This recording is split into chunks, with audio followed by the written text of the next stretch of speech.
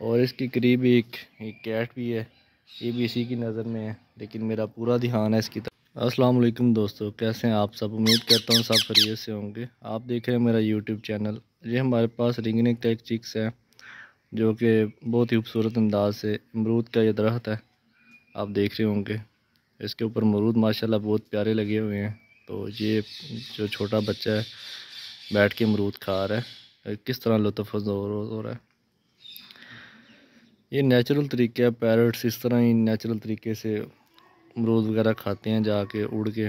तो आज हमने इसको यहाँ पे बिठाया है। यहाँ पे ये आ, कैसे इंजॉयमेंट करता है। आप भी देखें माशाल्लाह कितना बड़ा अमरूद है उसको इसने कितना खाना शुरू कर दिया हुआ है। खाना इसकी तरफ़ तो देखते हैं माशाल्लाह क्या होता है। माशाल्लाह इसकी ग्रोथ चेक करें कितना बड़ा हो गया। इसके पर देखें इसकी टेल देखें। माशाल्लाह। बस सर के इसके बाल ज़रा वो ख़राब